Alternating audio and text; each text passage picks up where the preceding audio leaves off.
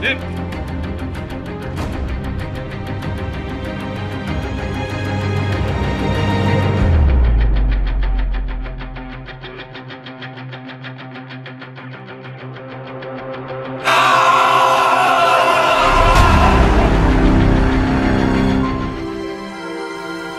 ิถีชีวิตลูกผู้ชาย เมื่อถึงวัย 21 ปี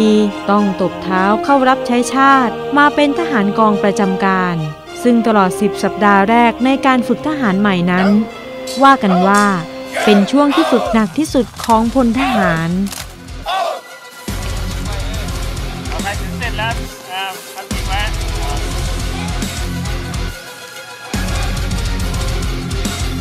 ทุกเช้าตั้งแต่เวลาตีห้าครึ่ง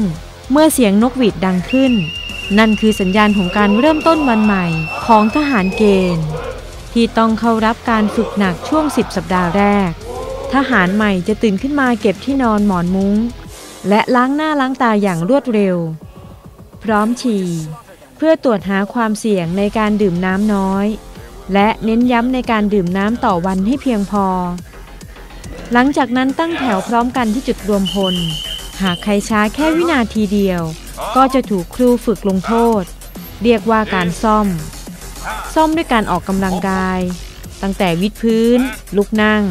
หมอบ และหากทำไม่พร้อมกัน ก็จะถูกสั่งให้ทำใหม่ซ้ำๆจนกว่าจะพร้อมเพียงกัน เพราะวินัยทหารนั้นถือว่าเป็นสิ่งสำคัญยิ่งและที่ขาดไม่ได้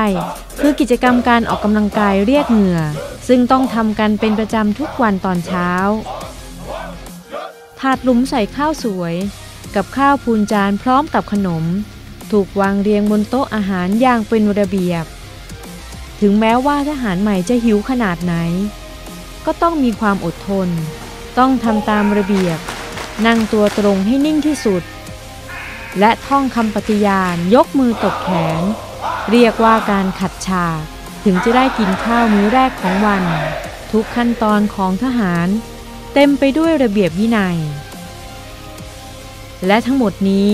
คือชีวิตจริงของทหารเกณฑ์ ซึ่งแน่นอนว่าจะต้องฝึกอย่างหนัก จากบ้านจากลูกเมียพ่อแม่พี่น้อง มาเป็นรั้วของชาติ แต่ก็เพียงชั่วคราวเท่านั้น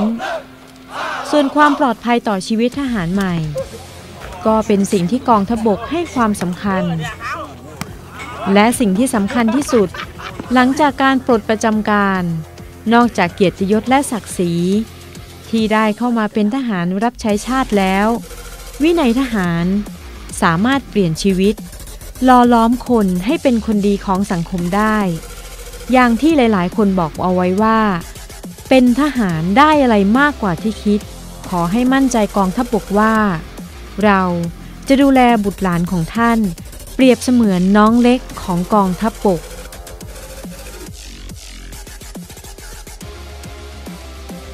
สิ่งที่ผมได้จากการเป็นทหารครับ ก็มีความสามัคคีครับ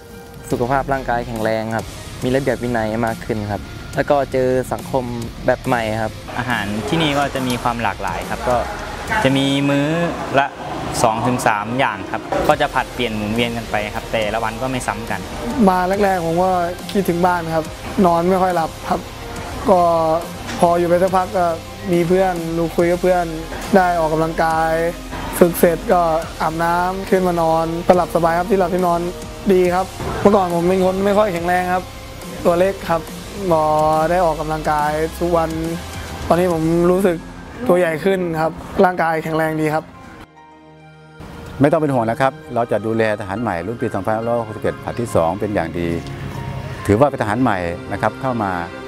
เป็นน้องเล็กคนสุดท้องของกองทัพบกครับ